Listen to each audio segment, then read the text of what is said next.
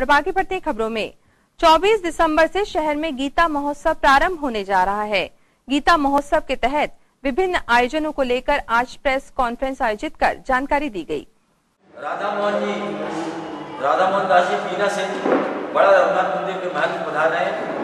राधा मोहन दास जी। राधा मोहन दास जी महंत बड़ा रघुनाथ मंदिर बीना आप चंडीगढ़ से पधार रहे हैं। रात को नागपुर फ़्लाइट से उतर जाएँगे।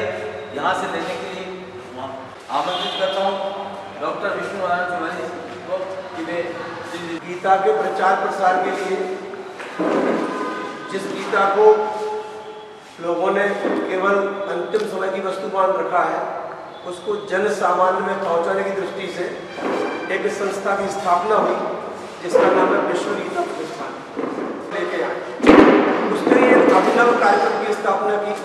जिसको हम बोलते हैं गीता संस्कृत स्वाध्याय मंडल। पूरे वर्ष भर में सप्त उत्सव होते हैं, जिनको सभी स्वाध्याय मंडल अपने मंडल स्तर पर और जिला स्तर पर मनाते हैं। गीता विश्व गीता प्रतिष्ठानम, जन जन में गीता को भेजने का एक ऐसा अनुष्ठान है, जिससे समाज में गीता के प्रति जो आकर्षण है, वो और अधिक बहुगुणित हो जाएगा। आज जो समाज में तनाव साथ ही साथ निराशा और महत्वाकांक्षाओं की पूर्ति न होने के फलस्वरूप जो युवाओं में आज दिग्भ्रमित होने की स्थिति बनी है, उसे निदान करने का एक सफल अनुष्ठान है विश्व गीता प्रतिष्ठान का विश्व गीता स्वाध्याय।